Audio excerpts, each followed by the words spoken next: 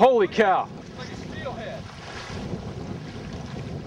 Not too much pressure. Dude, this one's never been. Oh my gosh. This one's like 24. Look at it.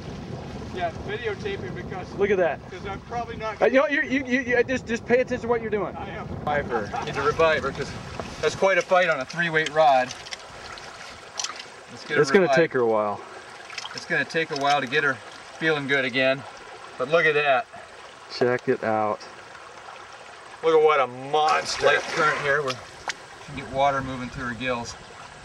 This water is so cold. It really is. Look at that. Lift her up out of the water. Just, just right there, right there. Thank you. You got a great shot of it. Man, a fish looks like a steelhead. I know. Out of a little creek like this. Wow. What a trophy. Yeah.